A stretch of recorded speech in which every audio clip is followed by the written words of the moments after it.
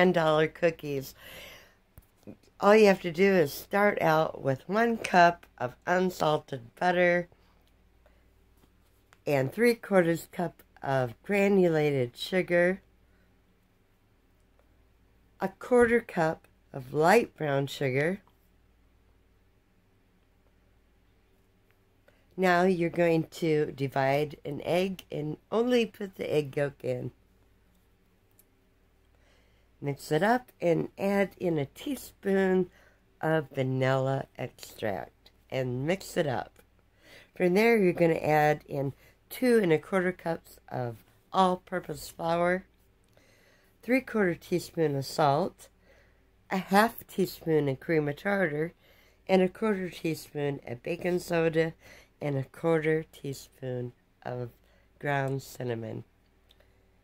Get it all in there and mix it. Nay Nay's got the beat.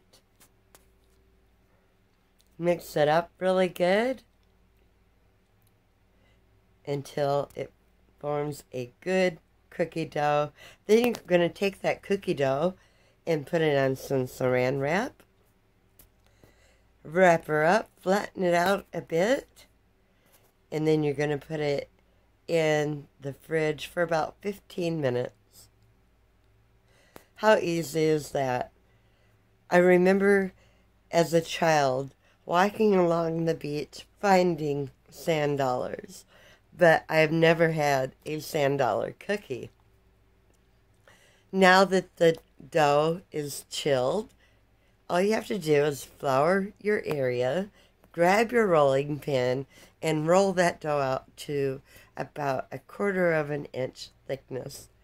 Take your round cookie cutter out and cook the round, or not cook yet, but cut out round shapes. Put them on your cookie sheet that I have parchment paper on. Here I had a little extra dough, so I didn't want to waste any of that cookie dough, so I rolled it out and made one more. And yeah, I did find a spot that I can make it fit. Now, after you have them all on your cookie sheet, take your egg white and put it on your cookies. Sprinkle a little bit of cinnamon sugar on top. Now you're going to take some almonds and go around the edges of your cookie with the almond halves to make it look like a sand dollar. I have a feeling my grandkids are going to love these when they come over today. Here they are done after cooking for about 10 minutes at 375 degrees.